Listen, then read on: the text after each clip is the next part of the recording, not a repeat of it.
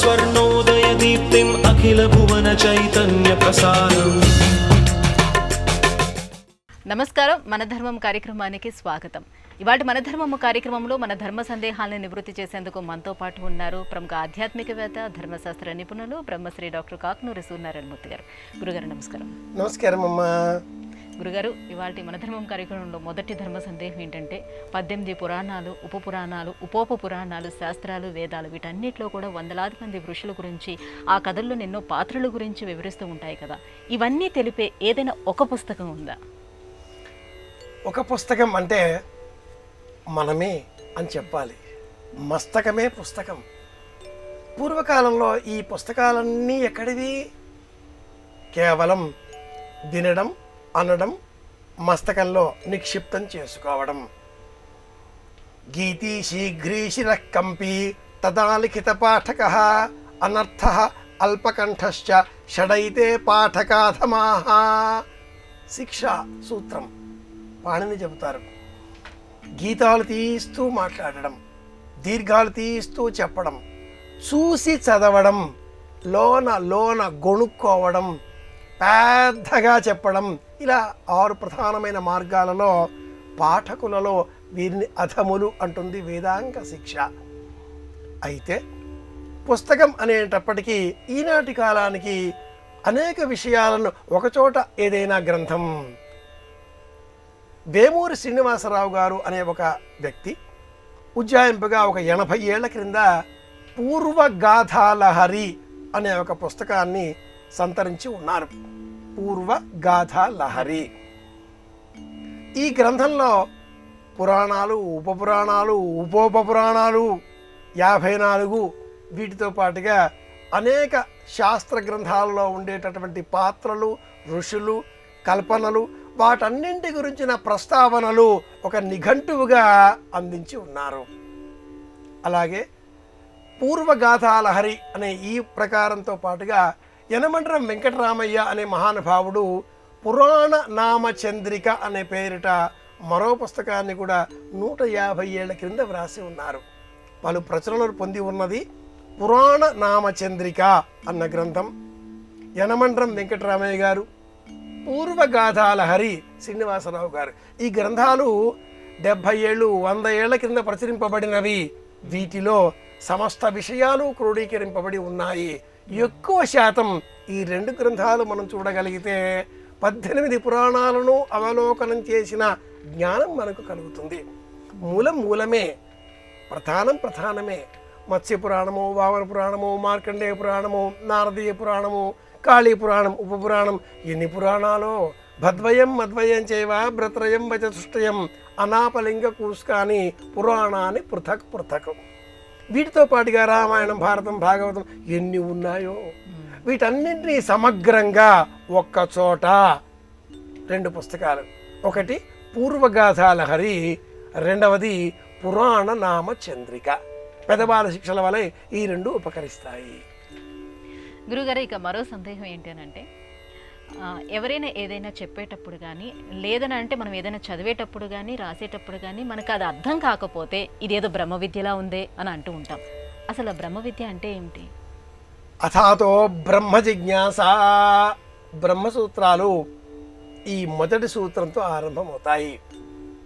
శ్వేతాశ్వతరోపనిషత్తు నాచికోపనిషత్తు కఠోపనిషత్తు ఈశావాస్యోపనిషత్తు బృహదారణ్యకోపనిషత్తు తైత్తిర్యోపనిషత్తు. ప్రధానమైన ఈ ఉపనిషత్తులలో బ్రహ్మము అనే శబ్దము గురించినటువంటి వివేచన విశ్లేషణాత్మకంగా ఉన్నది. నచికేతుడు అడిగిన ప్రశ్న చాలా విశేషమైనటువంటిది. యమధర్మరాజునే అడిగిన ప్రశ్న అది.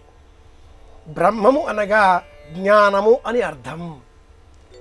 బ్రహ్మదేవుడు చతుర్ముఖుడు పంచముఖుడు ఇలా కాదు.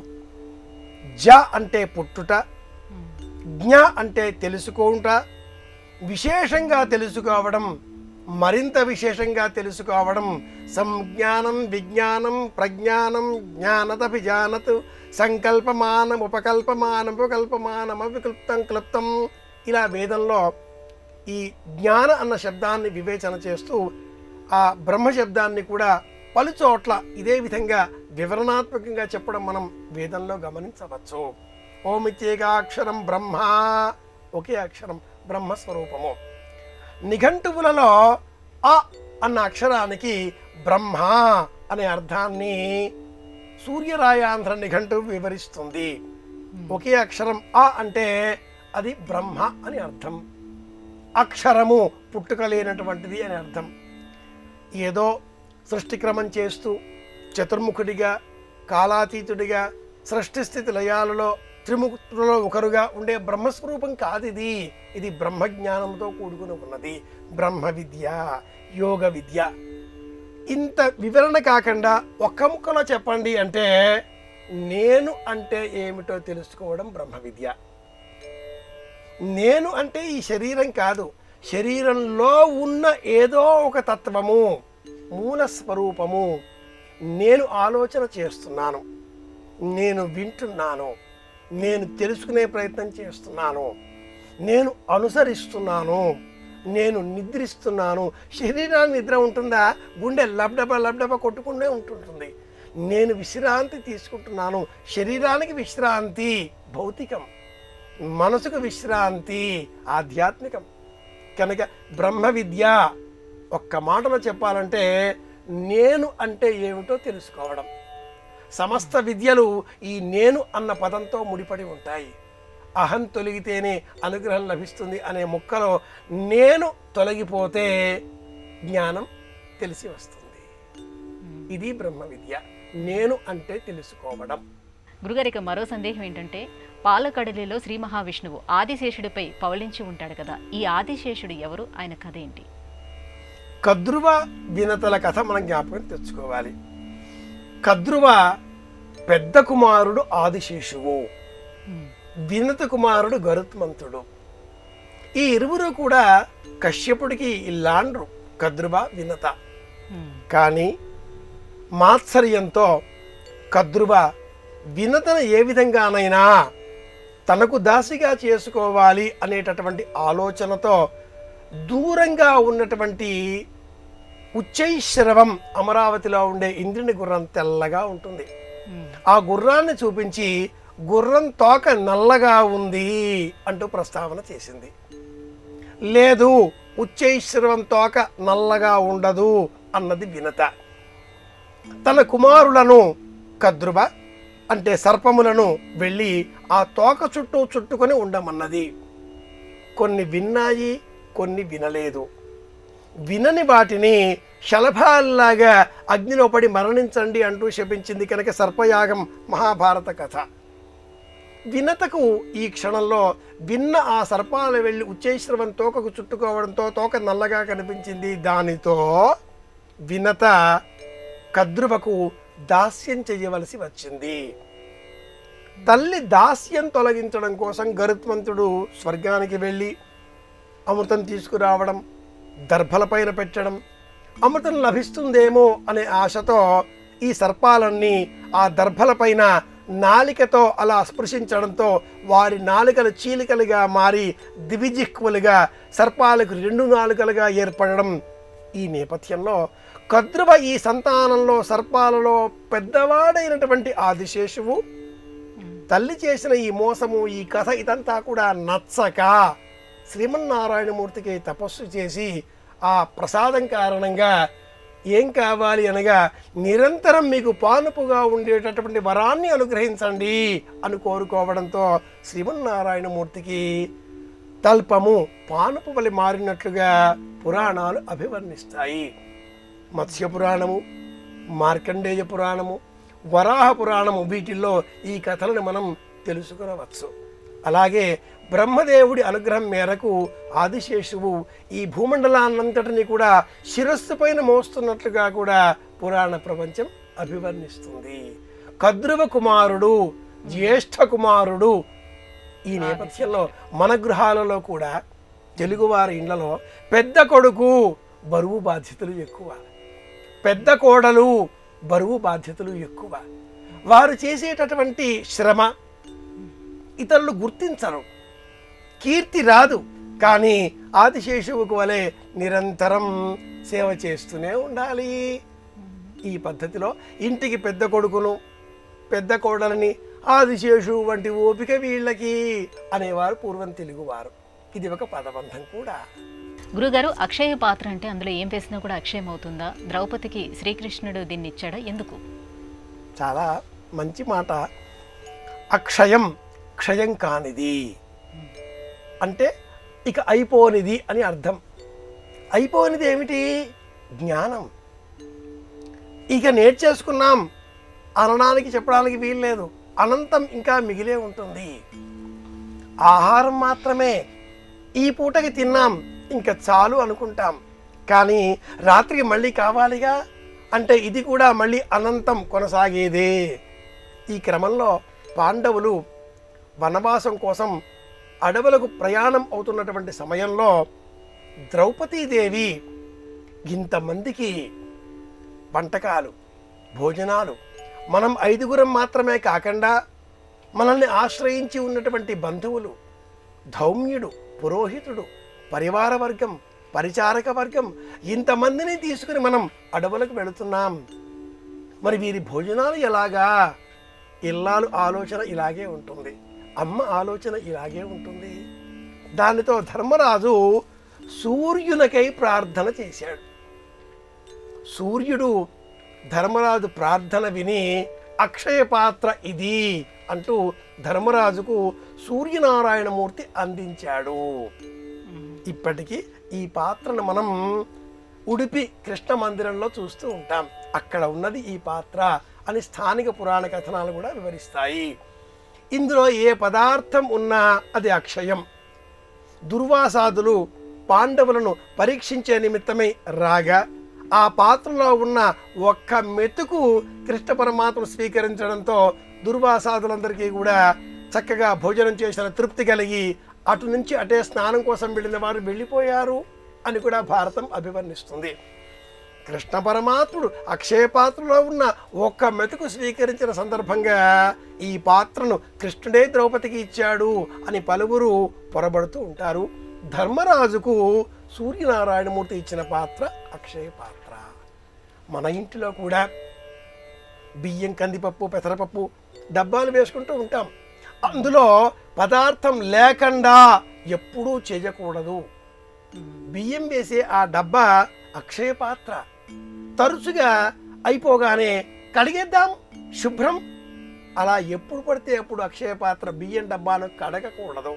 ప్రాచీనులు బియ్యం డబ్బాను ఏండ్లకి ఏండ్లు కడిగేటటువంటి వారు కారు బయట తుడిచేటటువంటి వారు.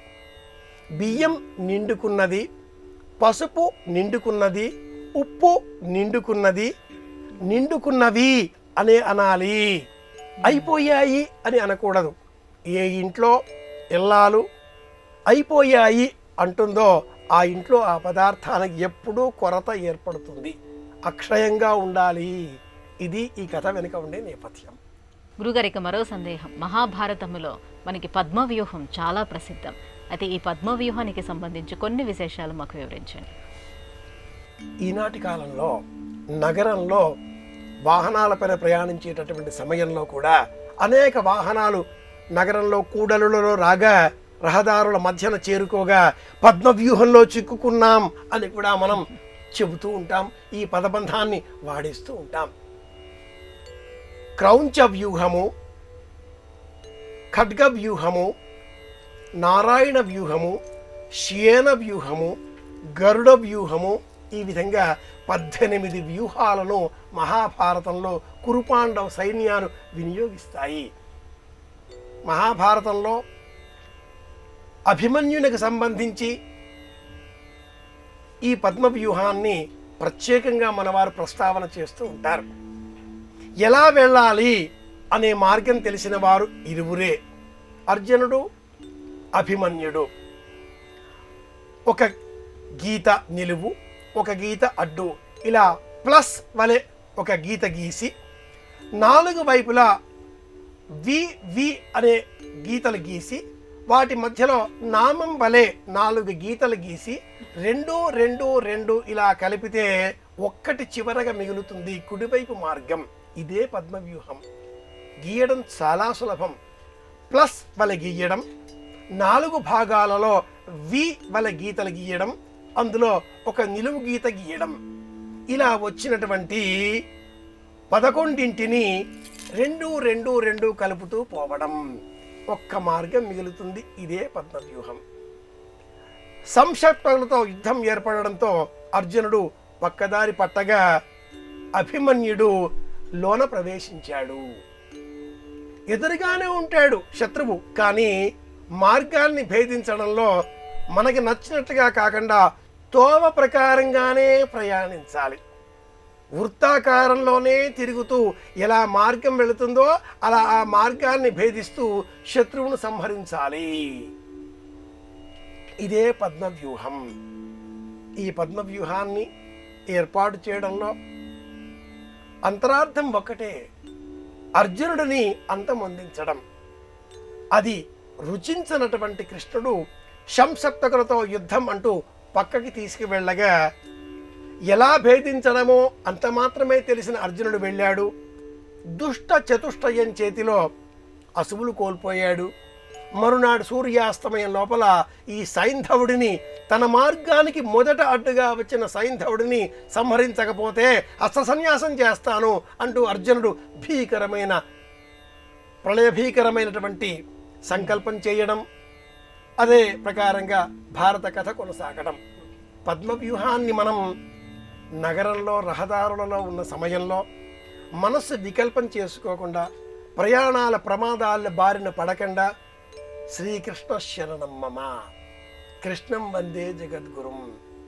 కృష్ణాయ శ్రీకృష్ణాయ యాదవాయ పరమాత్మనే అంటూ కృష్ణనామాన్ని మనసులో స్మరిస్తే చుట్టూ ఉండేటటువంటి ఏ సమస్య కూడా మన దరి చేరదు. ఎంత భయంకరమైనటువంటి ఎంత తీవ్రమైనటువంటి వాహన ప్రమాదాలు వచ్చేటట్లుగా ఉండే సందర్భాలలో ఉన్నా కూడా అందులో ఉన్న మనం కూడా ప్రశాంతంగా ఉండగలుగుతాం. కృష్ణుడు మనకు అండ అనుకోవాలి. ఇది పద్మవ్యూహాన్ని భేదించేటటువంటి విధానం. ఆధునిక పద్మవ్యూహాన్ని భేదించే విధానం కృష్ణనామస్మరణ.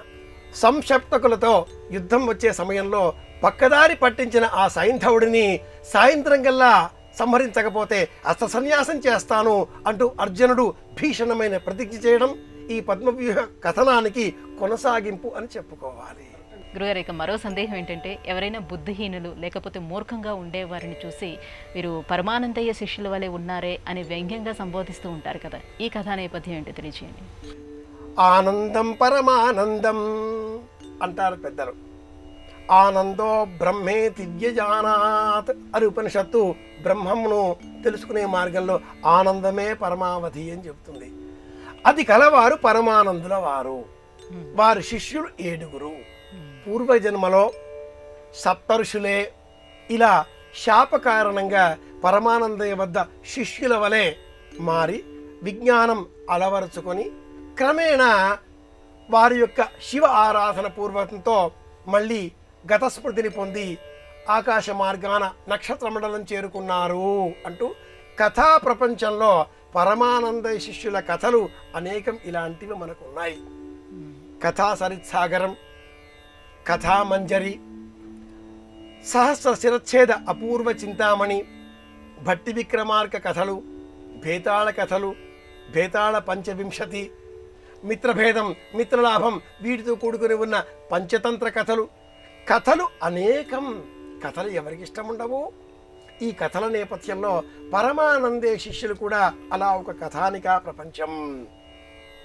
ఎలాంటి వారిని మూర్ఖులని మూఢులని పరమానంద శిష్యులుగా సంబోధిస్తారు అంటే గురువుగారు ఒకనాడు తమ శిష్యులను పిలిచి వస్త్రం కాస్త చిరిగిపోయే విధంగా ఉన్నది.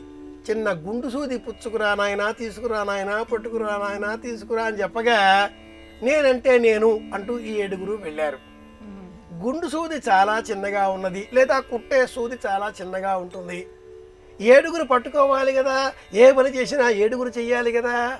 కనుక ఒక పెద్ద దూలం తీసుకువచ్చి ఆ దూలానికి ఈ సూదిని అలా గుచ్చి ఆ దూలాన్ని ఏడుగురు మోసుకుంటూ తెచ్చి గురువుగారు మీరేం చెప్పారు? ఏం చేసినా ఏడుగురు చెయ్యాలి నాయనా కలిసి ఉండాలి నాయనా అని చెప్పారు కదా. కనుక మీరు సూది తెమ్మన్నారు. ఇదిగో తెచ్చాం. అంటూ అంత పెద్ద చెట్టు కొమ్మను తెచ్చి ముందర పెట్టారు. సూది ఏది నాయన అంటే దీనికి చక్కబడి ఉంది ఏడుగురం తేవాలిగా అన్నారు. ఇలాంటి మూఢత్వంతో కూడుకున్న అజ్ఞానంతో కూడుకున్న కథలు అయినప్పటికీ వారి చర్యలు అన్నీ సమాజానికి ఉపయోగం కలిగించేవిగానే ఉంటాయి. కనుక పరమానంద శిష్యుల కథలో పిల్లలకు చెప్పవలసినటువంటి నీతి ఏమిటి అంటే ప్రాథమికంగా ఉండేటటువంటి అజ్ఞానం కాకుండా అందులో ఉండే అంతరార్థంగా జ్ఞానాన్ని పొందాలి అనేటట్లుగా మనం వారికి ఈ కథలను చెప్పాలి. ఇది ప్రధానం. అన్నట్టు పరమానంద శిష్యుల కథలలో ప్రసిద్ధమైనటువంటి కథ మొట్టికాయ లెంపకాయ జల్లికాయ టెంకికాయ ఇలాగా కూడా చాలా కథలు ఉన్నాయి తల్లి. పిల్లలకు ఈనాటి కాలంలో వేసవి సెలవులలో తప్పనిసరిగా చదివించవలసిన కథానికా ప్రపంచంలో అల్లావుద్దీన్ కథలు ఎంతగా చదువుతారో తెనాలి రామలింగడి కథలు ఎంతగా చదువుతారో అలాగే ఈ కథలు కూడా తప్పక చదివించాలి. అవసరం కూడా. గురుగారు మరో సందేహం ఏంటంటే హనుమంతుడి తల్లి అయినటువంటి అంజనాదేవి పూర్వజన్మలో ఎవరు? అహల్య గౌతమ మహర్షుల యొక్క పుత్రిక అని కూడా అంటూ ఉంటారు. ఇది నిజమేనా? అమ్మాయి ఈ కథలన్నీ కూడా అనేక గ్రంథాలలో చెప్పబడి ఉన్నాయి. అహల్య గౌతముల కుమార్తె అంజని అనేటట్లుగా విచిత్ర రామాయణం అనే రామాయణం కథలో ఉంది. అంజని నిజానికి పూర్వజన్మలో పుంజిక స్థల అనేటటువంటి ఒక అప్సరస ముని శాప కారణం చేత ఇలా అంజనిగా కేసరి ఇల్లాలిగా జన్మించింది. మరి ఈ కథ ఎక్కడ? అహల్య గౌతముల కథ అనగా పూర్వం గౌతముడు తపస్సుకై వెళ్ళగా సూర్య భగవానుడు ఈ ఇల్లాలు అహల్యతో ఈమె రూపలావణ్యాదులు చూచి ఆనందపడగా ఆ కారణంతో వాలి సుగ్రీవులు జన్మించారు. సూర్యకుమారులు అయ్యారు. తదుపరి గౌతముడు అహల్యలకు అంజన జన్మించింది. ఒకనాడు గౌతముడు ఇరువురు కుమారులు కుమార్తె అహల్యను వెంటబెట్టుకొని నదీ తీరానికి వెళుతూ ఇరువురు కుమారులను ఇలా ఎత్తుకొనగా పక్కనే ఉన్న అంజని కుమార్తెనైన నన్ను వదలి సూర్యకుమారులైన వారిని ఎత్తుకున్నావేం తండ్రి అంటూ ప్రశ్నించగా నిజం తెలిసిన గౌతముడు వారిరువురిని వానరులుగా మారిపోమ్మని శపించాడు. వాలి సుగ్రీవులు వానర వదనాలు రాగా ఆగ్రహంతో తమ పుట్టుకకు కూరినటువంటి ఆ కథనాన్ని చెప్పిన అంజనిని నీకు కూడా మా వంటి కుమారుడే జన్మిస్తాడు అంటూ వెళ్ళిపోయారు. ఆ కారణంగానే అంజనికి ఆంజనేయుడు జన్మించాడు. ఇలాంటి చిత్రమైన కథలన్నీ విచిత్ర రామాయణం అనే గ్రంథంలో ఉన్నాయి. నిజానికి శ్రీరామాయణాన్ని మనం గమనించినట్లయితే అంజని పుంజిక స్థల అనే అప్సరస స్త్రీ. ఇలా చెప్పుకోవాలి. గురుగారు ఇవాటి మన ధర్మము కార్యక్రమంలో మాకు వచ్చినటువంటి ఈ సందేహాలన్నీ కూడా నివృత్తి చేసినందుకు ధన్యవాదాలు. కృష్ణార్పణం. ఇది ఇవాటి మన ధర్మం కార్యక్రమం. రేపటి మన ధర్మం కార్యక్రమంలో మళ్ళీ కలుసుకుందాం. నమస్కారం. ఈ కార్యక్రమాన్ని తిరిగి చూడాలనుకుంటే W W W dot YouTube dot com slash at the rate ETV life స్పిరిచువల్లో చూడవచ్చు.